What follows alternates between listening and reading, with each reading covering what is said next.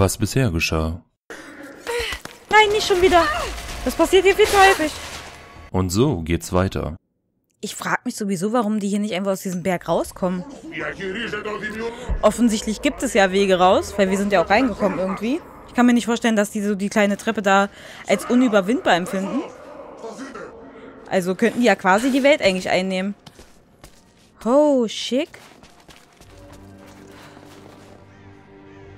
Ja. Lässt sich sehen. Und vor allem, das ist aber nicht der Nachthimmel, oder? Wir sind immer noch unter dem Eisberg. Aber der ist so riesig. Holy fuck. Neues Basislager entdeckt. Ja, sofort. Überleg mal, wie hoch die scheiß Decke sein muss, dass es einfach nur Schwärze ist da oben. Äh, ich würde sagen, wir gucken mal, ob Lara gleich was Neues zu erzählen hat. Nachdem ich mir alles genommen habe, was rumliegt. Uh. Oha. Ja, das lohnt sich. Ich, ich erinnere mich gerade, wir können so viel einsammeln, weil ich ja mein Inventar quasi erweitert hatte. Vor gar nicht allzu langer Zeit. Hallo. Und sie sagt nichts. Aber ich habe einen Fähigkeitspunkt. Ja, genau, einen Fähigkeitspunkt. Wo packen wir den jetzt noch rein? Pistolenexperte. Machen wir das.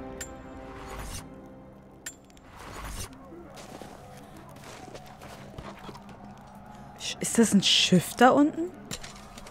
Wo zoome ich eigentlich nochmal? Irgendwo konnte ich zoomen. Und durch das Zoomen konnte ich dann auch gleichermaßen Leute markieren. Ich glaube nicht, dass das schon das Zoomen ist. Und bis ihr es mir sagt, ist das Spiel sowieso für mich schon durch. Ich guck mal eben kurz nochmal. Hm, Überlebensguide. Option. Tastatur und Maus. Nee, ich glaube, das ist es nicht. Tastatur und Controller, Gameplay? Control Nein, nee, das ganz sicherlich nicht. Es muss Tastatur und Maus sein. Steuerungstipps. Tastenzuweisung. Irgendwo hier. Zoomen mit Y, natürlich. Wer kommt da nicht drauf? Zoomen ist mit Y. Mit Y. Aha. Und damit könnte ich jetzt Leute markieren. Das muss ich unbedingt mal probieren. Sonst hätte ich das ja alles ganz umsonst geskillt. Das wäre ja auch doof. Mist. Uh. Oh Gott. Nein. Nein. Bin ich da, bin ich da, bin ich da, bin ich da. Die Hand hängt da nur so. Ist von jemand anderen.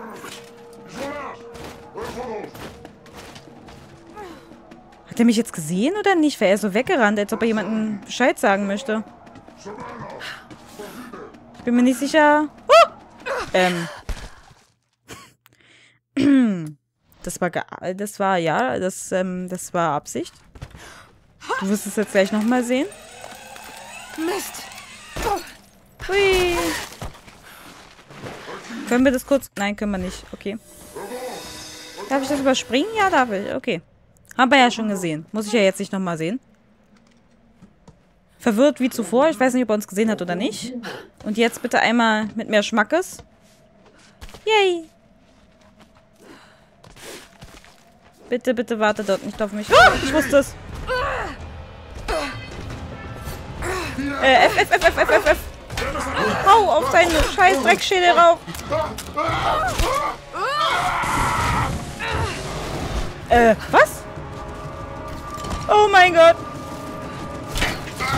Äh, was? Oh Gott, was? Wo guckt sie denn hin? Wieso? Was für Feuer und hier? Verwirrt. Äh, ja, hi. Oh Gott, wieso kommt der alle auf mich zu? Die sterben nicht wirklich. Ähm. Oh, fuck me, sideways. Das wird kommt. Uh, aua, aua. Mach dich mal kurz unverwundbar hier. Komm her.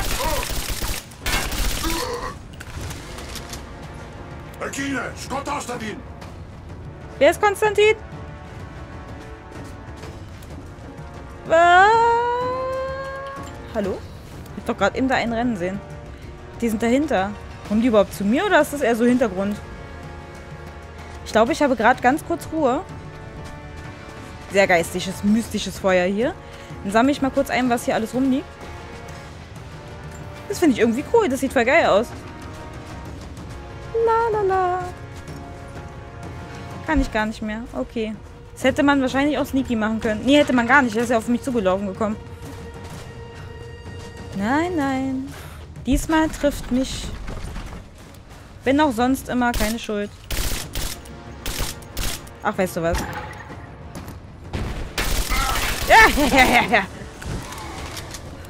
Scheiße, wa? Oh, ich finde hier wahrscheinlich keine Granaten. Damit sollte ich etwas vorsichtiger umgehen. Ich nehme mir mal eben... Au, ah, i, oh, wo denn? Bitte nicht von hinten. Da oben liegt noch was. Komme ich da hin? Ah, hier. Ja, genau so. Mindestens so. Geh da hoch. Würde das gerne aufsammeln. Das hier?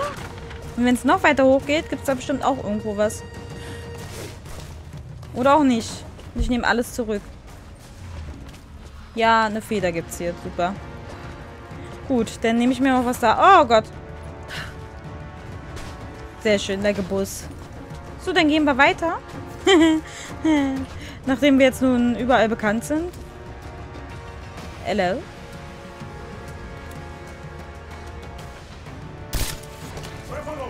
Hat der jetzt daneben geschossen oder war das mit Absicht? Brennt's hinter mir? Ich sehe es nicht. Hey, du Arsch. Kauf dir mal Zielwasser. Ist hier hinten noch was? Man muss ja immer mal gucken. Tatsächlich, siehst du? Siehst du? Hast du, hast du, hast du gesehen?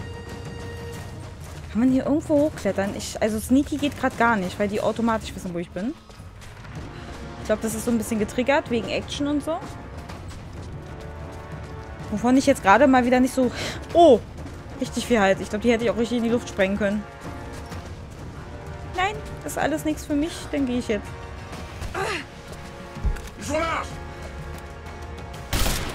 Das hat jetzt gar nicht geholfen. Ich dachte, dann fliegt der Turm in die Luft oder so. Herausforderungen dem Feind meines Feindes. Rufen Sie Unsterblichen zu Kampf gegen Trinity. Was? Ach, Signalfeuer entfacht. Ah. Was? Signalfeuer? Ist das, passiert das hier auch? Nö. Wie entfache ich denn die Signalfeuer? Das ist ein Signalfeuer. So ein... Okay.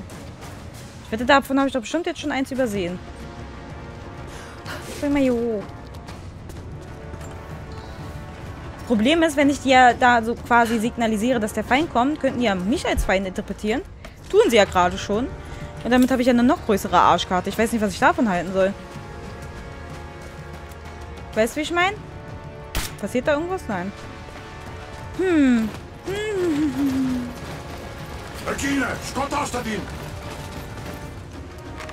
Wir können drüber reden, Freunde. Aha.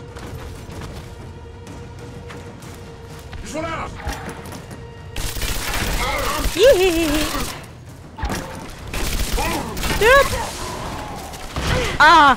Oh, okay. Nicht. Au, ah. Ach, hör doch auf.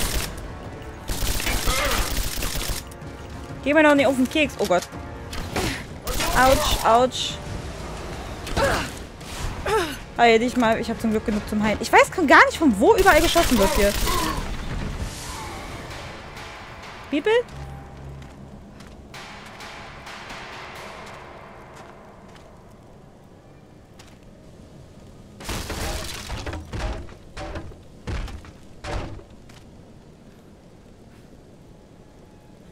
Frage mich gerade, interessanter Ort entdeckt. Was? äh, ja, das ist die Herausforderung, die ich wahrscheinlich nie zu Ende machen werde. Hm. Ist das jetzt der interessante Ort oder... Ich gucke mich hier erst nochmal um. Warte mal eine Sekunde. Hier ist überall Feuer, was ich irgendwie so gar nicht im Kampf selber entzünden konnte, weil ich einfach unten stehe und es hier alles oben ist. Was mir aber gerade auffällt, ist, dass ich hätte die Dinger da benutzen können, um die Pfeil... Um die... Äh, ähm, wie heißt die Scheißtypen nochmal? Die, die den Bogen benutzen. Scharf, nicht Scharfschützen. Goddammit, Nienchen. Warum bist du so beschränkt? Was ist denn da oben? Wieso konnte ich das jetzt wegfeuern? Hm? Komme ich da gar nicht ran irgendwie? Hier vielleicht? Nein, okay. Glaube, da soll ich nicht nach oben. Dann nicht. Dann bediene ich mich nur. Woher soll ich bei denen eigentlich Munition finden, fällt mir gerade auf. Das macht irgendwie nicht so richtig viel Sinn. Ich glaube nicht, dass die eine AK benutzen. Ah, au, au, ah, okay. Ich will doch nur... Nein, okay. Wir gehen nicht ans Feuer, wir gehen weiter. Ja, ich habe auch gar nicht mehr so viel Munition. Bitte gönnt mir eine Pause. Ich brauche erstmal Muni, bevor ich weiter gegen Horden an Gegnern kämpfe. Hups. Das war jetzt keine Absicht. General, wir haben in der Nacht Seltsames beobachtet. Unser Lager liegt oberhalb von Kitesh und die Stadt bereitet sich auf den Angriff vor. Sie glauben immer noch, dass der Angriff aus den Bergen erfolgen wird und werden unserem Ansturm von der anderen Talseite nicht erwarten. Aber ich muss berichten, dass am Turm im Herzen der Stadt etwas Unheimliches vor sich ging. Wir beobachteten, wie hunderte gepanzerte Soldaten ihn erklommen und anschließend ein Licht den Himmel spaltete. Das Geräusch erschütterte mich zutiefst. Es klang wie eine Armee hungriger Geister. Dann stiegen die Männer wieder hinab. Ich weiß nicht, was die Spitze dieses Turmes bereithält. Wir dachten, es seien Schätze. Aber es ist wohl etwas völlig anderes. Völlig anderes. Ein Leuchtturm. Ähm, ja. Die Frage ist nur, ich kann die ja wegschießen, ne? Und die zerbersten dann quasi in sehr viele schöne blaue bunte Lichter. Kommen die dann irgendwo wieder? Weil tot können sie ja qua eigentlich nicht sein. So, wenn ich da oben das wegreißen kann, verstehe ich jetzt gerade nicht. Ich glaube, ich hätte nach da oben gekonnt. Ich weiß noch nicht wie. Aber da ist ja auch nichts ange... Oh, doch. Warte. Kann ich da hoch? Ach, das liegt hier. Na gut. Wir haben die Tore verriegelt, um sie am Eindringen zu hindern. Die Reiter kommen und ich muss die Menschen beschützen. Mütter mit Kindern. Alte Männer wie mich. Alle, die nicht kämpfen können. Wir haben ausreichend Nahrung und Wasser, um uns für die Dauer des Angriffs am Leben zu halten. Sollten die Atanatoi fallen und es zu einer Belagerung kommen, werden wir hier sterben. Für diesen Fall habe ich genügend Tollkirsche, um die Kleinsten sicher hinüber zu geleiten. Hoffentlich kommt es nicht dazu.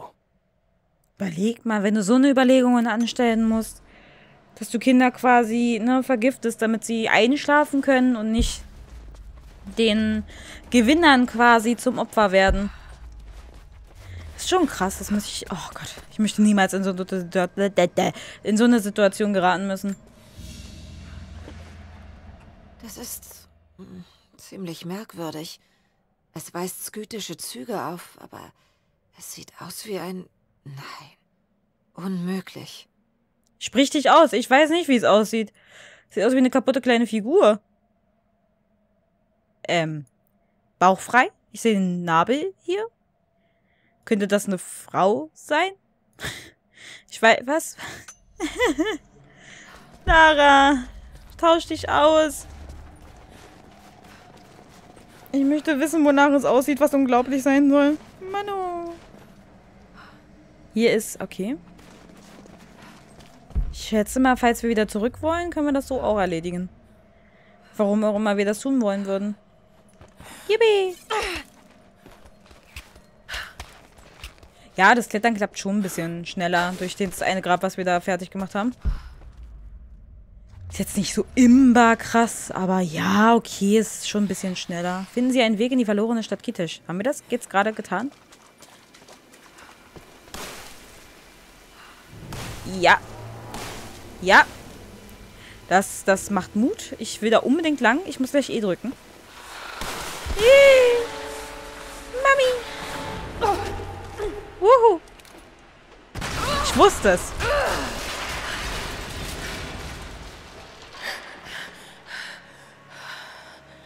Mm.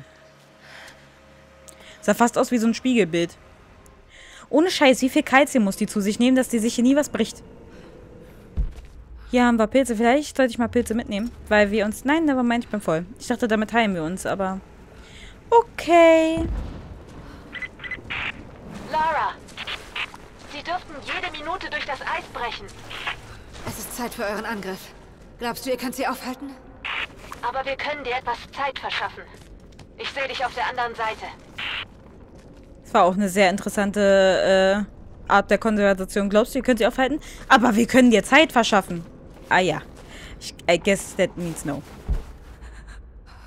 Ach, frier doch nicht schon wieder, Lara. Ist doch... Ist ja nicht so, als ob du nicht genug anhättest oder so mit deinem Tanktop. Hello. Oh. Die Kammer der Seelen. Die göttliche Quelle muss dort sein.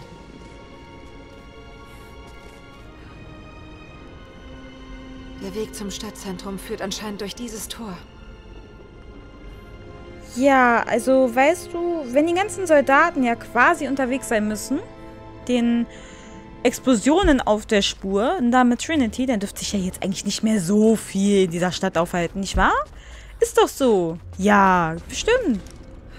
Ähm, war hier nicht gerade irgendwie eine Art von... Was ist das? Ich habe versagt. Es gibt keine Entschuldigung für meine Sünden. Ich habe meine Hände auf der Jagd nach dem Propheten mit Blut besudelt. Und jetzt ist alles dahin. Als die Belagerung begann, taten die Anhänger des Propheten das Undenkbare.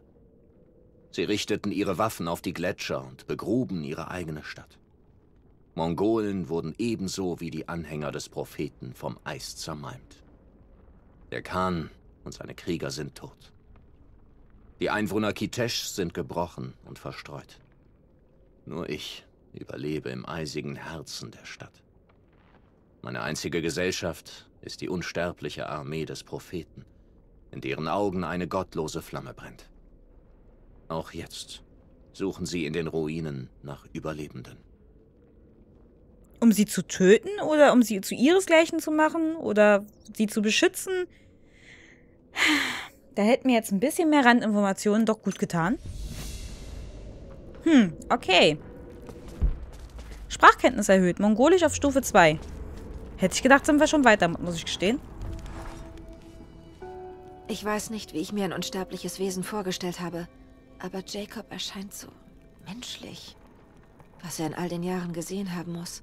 All diese Erfahrung, dieses Wissen. Es ist schwer zu begreifen. Und doch hat er sein Volk seit Generationen angelogen. Alles für dieses Geheimnis. Welche Wunder werden mit der göttlichen Quelle befreit? Werden die Menschen endlich die wahre Natur der Seele verstehen? Oder enthüllt sie eine wissenschaftliche Entdeckung? Eines ist sicher. Trinity darf keine Kontrolle darüber haben.